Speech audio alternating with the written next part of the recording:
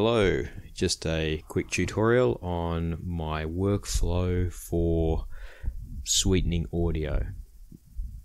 To really sweeten audio, it is a bit more of an art, and you know, you have to play around with a lot of settings. Not every setting will be applicable in every situation.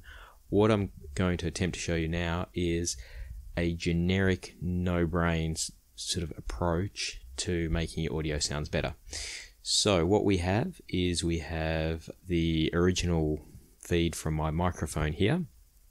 I've created a duplicate here that will we can use as a reference later on and just a third a third track that will become apparent later on. Okay, so the first thing we want to do with a audio uh,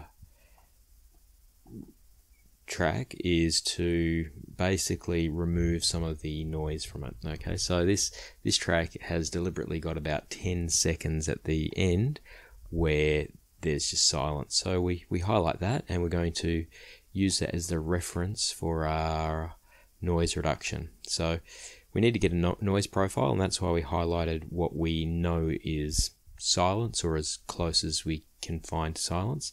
So we click get noise profile then you can either click sort of around there or control A to select everything.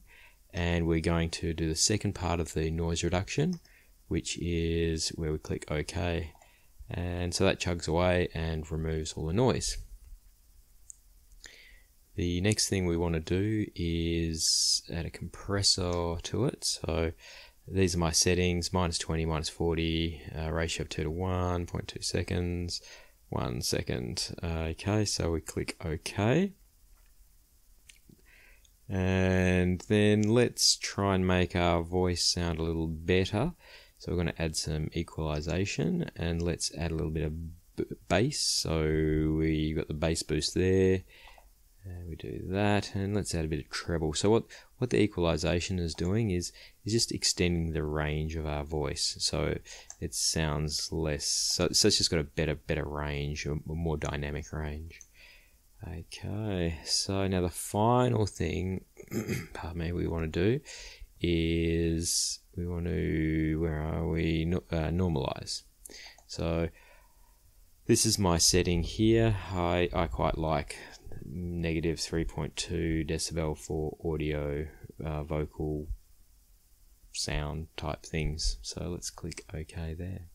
And here we have our result. Now, what we're going to do is we're going to try and mimic what we've just done, but by by simply just cranking up the amplification. So we're going to, be on the second track, we're going to amplify. And let's just amplify there. Oh, we weren't on the second track, were we? So I'm just going to control Z to exit out of that. Uh, so, sorry, ignore that last bit.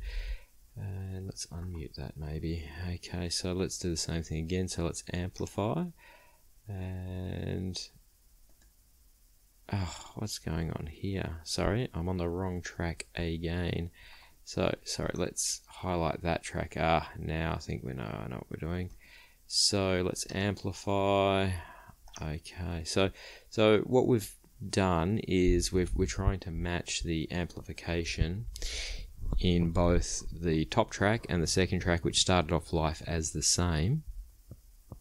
But let's uh, let's have a listen to the difference. So what I'm going to do is I'm going to copy that, that part, and I'm just going to paste it there. And I'm going to copy pretty much the same, the same bit. And we're going to paste it there. And we might just do this a couple of times so we can see what what our results are. So I'm just I'm just Control C and Control Ving. Oh, it looks like it adds spaces there anyway. So what I'm going to do, I'm just going to use the uh, slide tool or whatever it's called, just to butt these up against one another. Okay, let's mute these sources. So what we've got is we've got let's get the eye bar back. So what we've got is we've got the uh, edited one, the sweetened one, and we've got just the amplified one. The sweetened one, the amplified, the sweetened, the amplified. So, so let's let's click play and see if there's a difference. As a test sample, as a test sample, as a test sample, as a test sample, as a test sample, as a test sample. Okay, so I think it's quite clear that audio sweetening does make a considerable difference to the first of all it eliminates the background noise and second of all it, it adds a fuller dynamic to the voice. It, it just makes it sound a bit more punchy a bit more interesting. We could go one step we could go further one step further. We could uh, add a little bit of reverb or a bit of echo just to make it sound a little bit better that i find is does take a bit a bit of tweaking and a bit of playing around with so we'll, we'll leave it at that i hope this has piqued your interest and I hope you can apply this to your next audio project. Okay? I look forward to seeing you guys soon. Bye bye.